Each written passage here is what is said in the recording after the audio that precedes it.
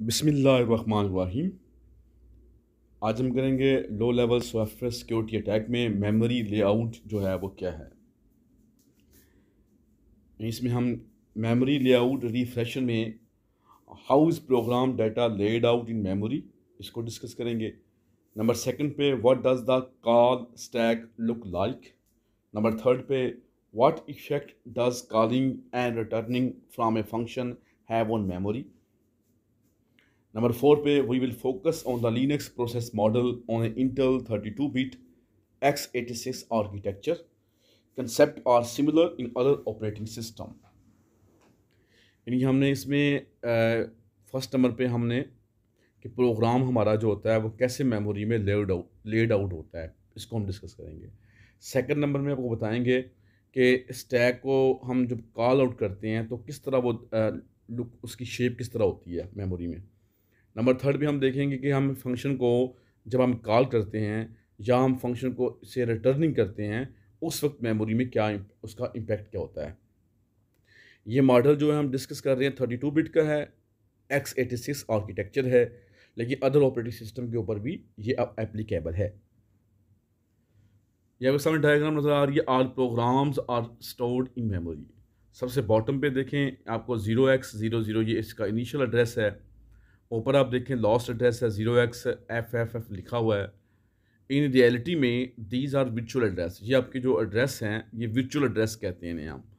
The operating system or C P U जिसको map करता है फ़िज़िकल एड्रेस में। ये आपके विचुअल एड्रेस हैं, इनको फिर वो फ़िज़िकल एड्रेस में मैप करेगा। The process view of memory is that it own all of it number second पे आ जाते हैं जी। ये आपके सामने डायग्राम नज़र आ रही है। इस डायग्राम मेमोरी में सबसे बॉटम पे जो चीज़ वाक़ है, वो है कोड सेगमेंट है। जहाँ आपकी टेक्स जो आपने कोड लिखना है, वो कोड सेगमेंट में लिखना है, जिसे हम टेक्स भी कहते हैं। टेक्स और कोड सेगमेंट ठीक है जी? सबसे बॉटम पे।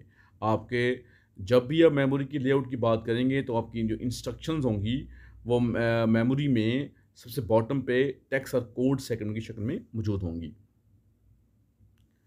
इससे ऊपर जो है वो आपका अनिशलाइज डाटा होगा और उससे ऊपर जो है वो अनअनिशलाइज डाटा होगा। अनिशलाइज का मतलब ये है कि आप उसमें कोई वैल्यू असाइन करो। जिस तरह आपने देखें static constant int y is equal to ten हमने टेन वैल्यू जो है वो उसको असाइन की हुई है। स्टैटिक का मतलब है कि इसकी वैल्यू चेंज नहीं होगी। कॉन्स्ट यही रहेगी। जब भी आप इसे यूज़ करेंगे y is equal to ten ही रहेगा हर जगह। अनअनिशलाइज का मतलब क्या है कि अभी आपने वैल्यू को अनिशलाइज नहीं किया। जिस तरह आप देख रहे हैं स्टैटिक इंट एक्स है। ये जो लास्ट में हमने बात की है कोड सेगमेंट की, यानी टेक्स और कोड सेगमेंट नंबर सेकंड पे अनिशलाइज डाटा नंबर थर्ड पे अनअनिशलाइज डाटा ये चीज़, सब चीज़ें जो हैं हमें नाउन होती हैं कंपाइल टाइप पे। जब हम प्रोग्राम को कंपाइल कर रहे होते हैं, उस वक्त जो है हमें ये सब चीज़ें नाउन होंगी। ऊपर आप देख रहे हैं सबसे टॉप पे C command line and environment लिखा हुआ है। ये हम उस वक्त सेट करते हैं व्हेन द प्रोसेस स्टार्ट जब आपको प्रोसेस आपका स्टार्ट होता है, उस वक्त हम इसकी सेटिंग करते हैं। जिस तरह आपने एम एस वर्ड को स्टार्ट किया है, उस वक्त जो है कमांड लाइन और इन्वायरमेंट जो हम सेट करते हैं। इसके नीचे आपको नज़र आ रहा है स्टैक सेगमेंट है। ठीक है जी स्टैक सेगमेंट में क्या है? इंट एफ़ एक फ़ंक्शन है एफ़ है, उसको हमने डिफाइन किया हुआ है। उसके अंदर क्या है? Int x equal to zero so on ठीक है जी? स्टैक सेगमेंट आपको नीचे नज़र आ रहा है कमांड लाइन और इन्वायरमेंट के बिल्कुल नीचे।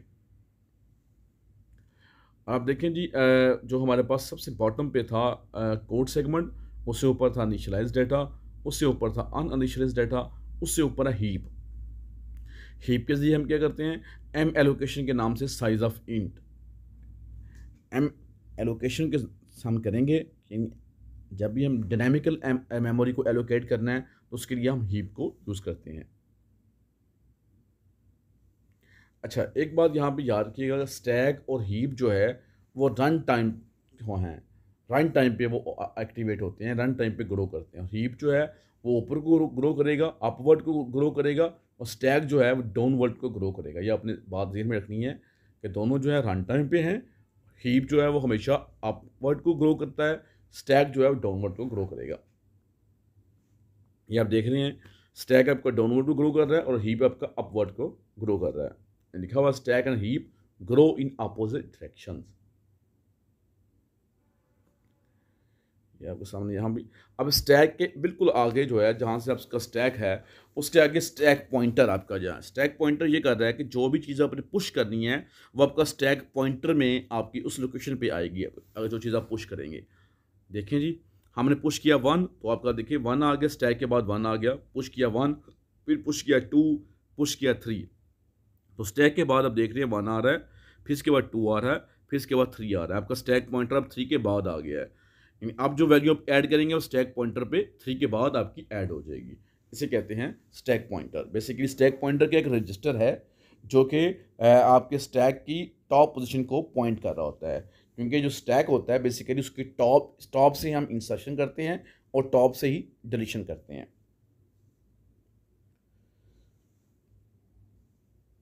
ये आप देख रहे हैं stack and heap grow in opposite direction the compiler writes instructions that adjust the size of the stack at one time run time पे उसके साइज़ को एडजस्ट करता है।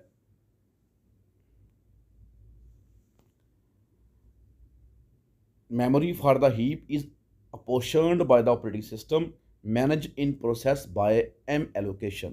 इसकी जो मेमोरी है उसको हम एम एलोकेशन के, के ज़रिए मैनेज करते हैं।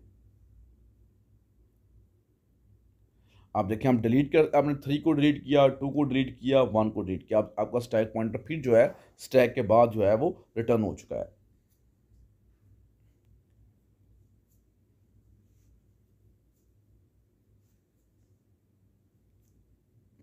अच्छा अब अब stack and function calls what happens when we call a function जब हम एक फ़ंक्शन को कॉल करते हैं तो what data needs to be stored कौन सा डेटा हमने स्टोर करना है?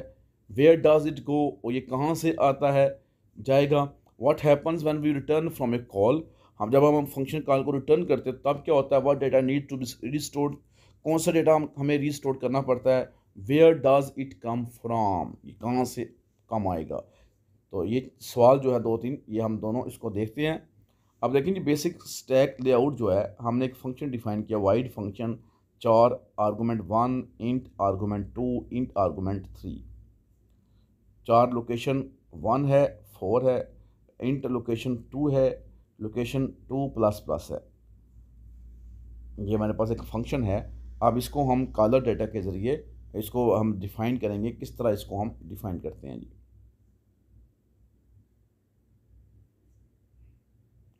अच्छा ये देखिएगा।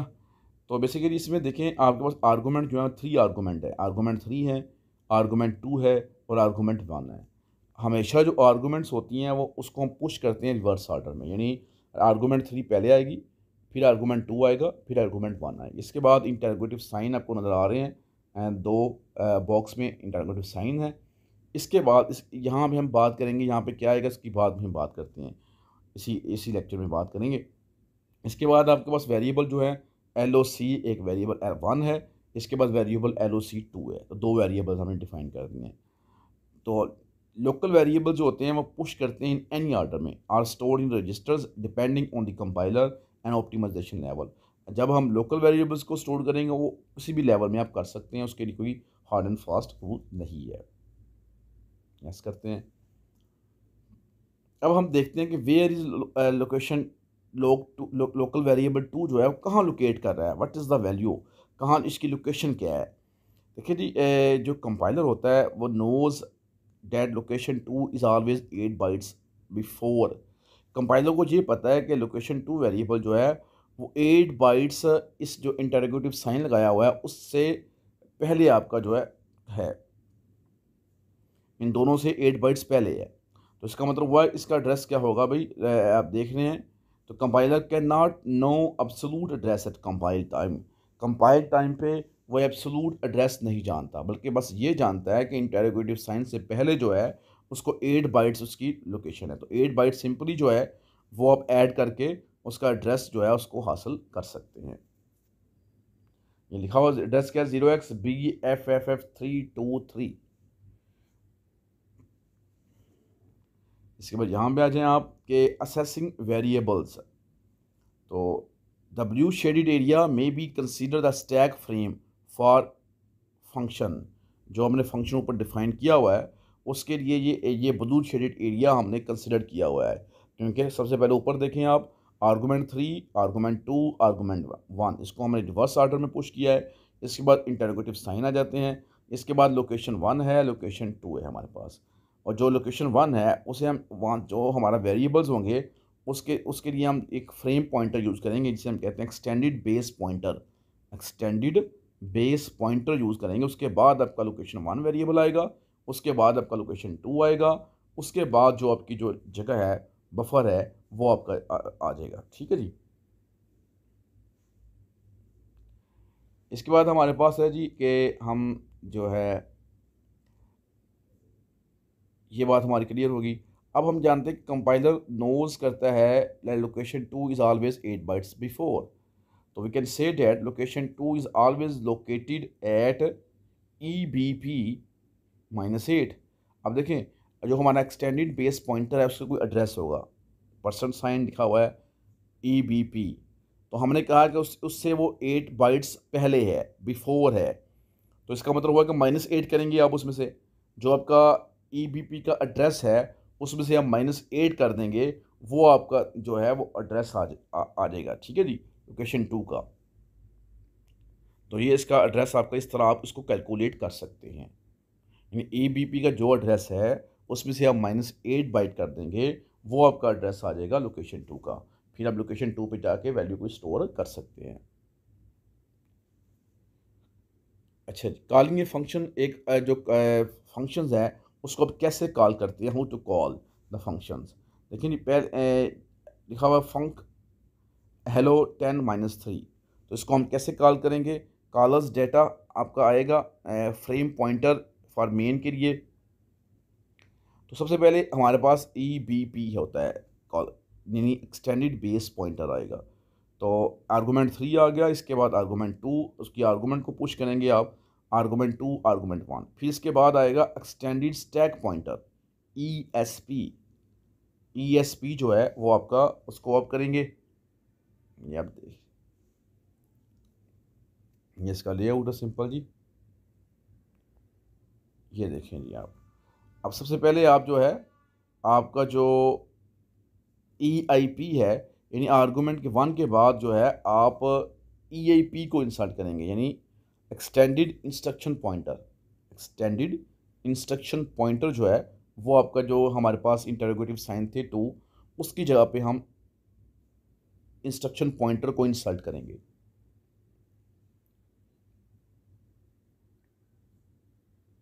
ये देखिएगा अब इंस्ट्रक्शन पॉइंटर के बाद हमारा क्या आएगा? बेस पॉइंटर आएगा। इंस्ट्रक्शन पॉइंटर के बाद बेस पॉइंटर आएगा और बेस पॉइंटर के बाद हमारा जो है ये देखिए जी argument three argument two argument one फिर इसके बाद इंस्ट्रक्शन पॉइंटर फिर इसके बाद बेस पॉइंटर इसके बाद फिर बेस पॉइंटर आपका आएगा। तो अब ये अब ये शक्ल आपके सामने क्लियर हो रही है, ठीक है जी?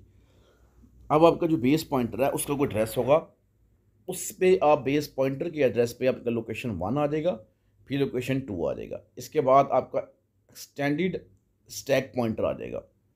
जो आपका स्टैक पॉइंटर है, वो आपका वहाँ पे आ जाएगा स्टैक पॉइंटर यानी वेरिएबल्स के बाद में ई एस पी आएगा। तो बेसिकली हमने ये सीख लिया कि जो आपके पास आर्गूमेंट थ्री है आर्गूमेंट टू है आर्गूमेंट वन है, इसके बाद इंस्ट्रक्शन एक्सटेंडेड इंस्ट्रक्शन पॉइंटर आएगा, फिर इसके बाद एक्सटेंडेड बेस पॉइंटर आएगा फिर एक्सटेंडेड बेस पॉइंटर के बाद आपका जो है, वो ई एस पी आएगा। ई एस पी अच्छा ये आपके सामने डायग्राम में नज़र आ रहा है क्लियर जी आपको?